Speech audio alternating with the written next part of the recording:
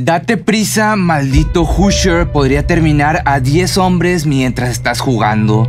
Eso fue lo que gritó Carl Pasram, de 39 años, la mañana del 5 de septiembre en la Penitenciaría Federal de Leavenworth, al verdugo que esa jornada se encargaría de cumplir la pena capital. Pansram fue condenado a la pena capital tras quitarle la vida al supervisor de la lavandería de la penitenciaría de Leavenworth, pero él admitió que le había quitado la vida a 21 personas y había abusado de más de mil hombres. En el video de hoy te voy a contar la historia de Pansram, uno de los criminales más sádicos que odiaba a la raza humana.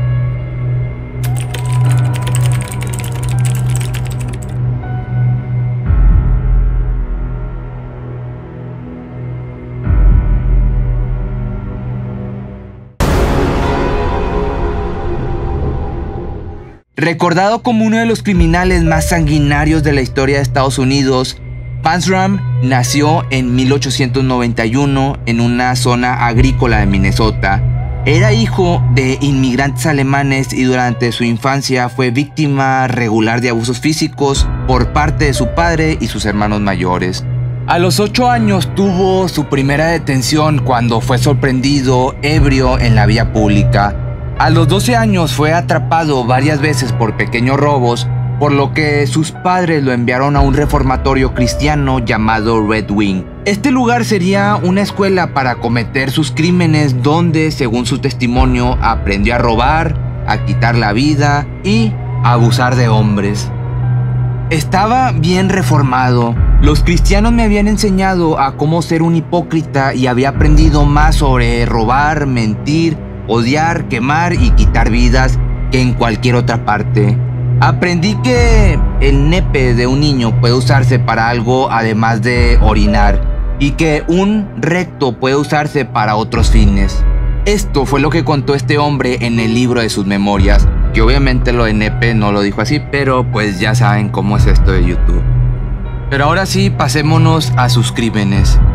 Después de salir del reformatorio, esto en 1905, Pansram volvió a su hogar, pero al poco tiempo abandonó a su familia y se dedicó a vivir en trenes de carga recorriendo la costa oeste de los Estados Unidos, donde tuvo otro episodio que marcó o bueno, reforzó su personalidad sádica, pues fue abusado por un grupo de indigentes.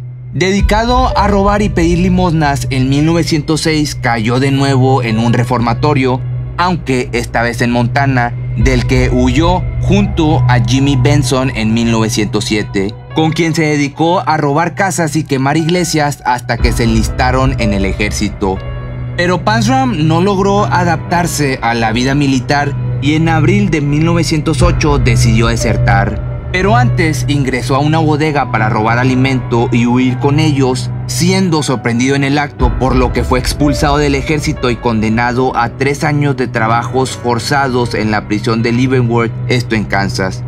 Castigo que fue ratificado por el secretario de Defensa de los Estados Unidos y posterior presidente de aquel país, William Howard Taft. Tiempo después salió de Leavenworth en 1910 donde varias veces fue golpeado por guardias a quienes intentaba agredir.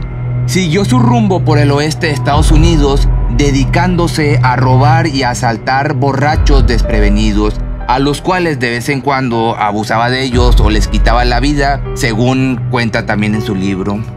Que por cierto, esto del libro ahorita te cuento. En 1917 cayó detenido en la prisión de Oregon donde tras las fallidas fugas y peleas con los guardias, huyó en 1918 y tomó rumbo a la costa este de los Estados Unidos, específicamente a Connecticut, donde empezó su etapa más documentada como criminal. En 1920, Pansram entró a una casa que le pareció bastante lujosa hasta que se percató que era la casa de William Taft, el presidente de los Estados Unidos, donde logró huir con joyas, armas y 3 mil dólares, una buena fortuna para aquella época, con lo que pudo comprar un yate y convertirse en un pirata de río. Pansram una vez confesó que en Nueva York entró a un restaurante y le ofreció trabajo a cinco marineros. Los llevó al yate, abusó de ellos y después les quitó la vida disparándoles con un arma que había robado en la casa del presidente. Luego arrojó los cuerpos con una piedra al río Hudson.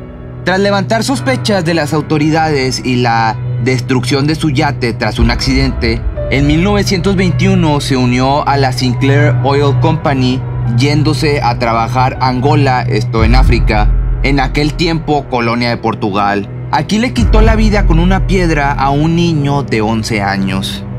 En Angola engañó a seis hombres a los que le ofreció trabajo, pero en realidad los llevó a un bote hasta un sector donde habían cocodrilos. Les disparó a los seis hombres y sus cuerpos fueron dados como alimentos a estos reptiles. Pansram levantó las sospechas de la gente de Angola y de sus colegas, por lo que tuvo que huir escondido en un barco a Portugal y luego de la misma forma a Estados Unidos. De regreso a este país, el criminal buscó arreglar los papeles de su yate y robar alguno parecido para usarlo como tal. En eso llegó a la ciudad de Salem, esto en Massachusetts, en 1922, donde se encontró con Henry McMahon de 11 años, un niño que generalmente estaba en el restaurante de un amigo de su padre y solía hacer trabajos pequeños, algo así como encomiendas, trámites o cosas así sencillas. Esto lo hacía por una propina.